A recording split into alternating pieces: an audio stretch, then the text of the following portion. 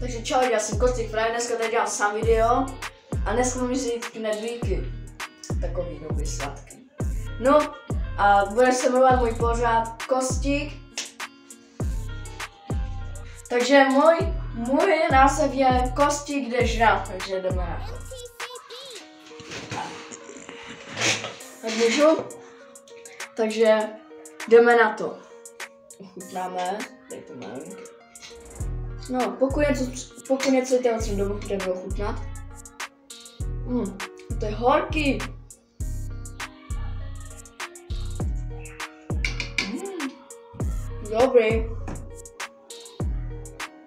Padło.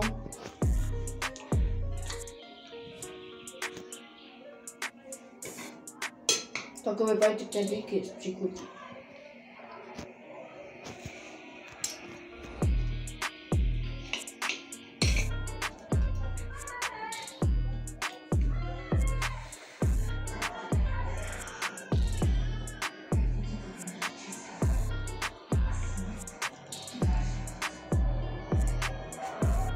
Takže to jako... Je tam borůvková příchuť první knedlíku, druhým je myslím, že asi jahodová. A v tom třetím asi taky borůvková, myslím. Borůvko, borůvková a malinová asi. Tak asi 10 budu z 10.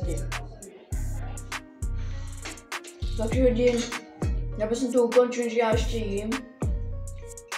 Takže čau.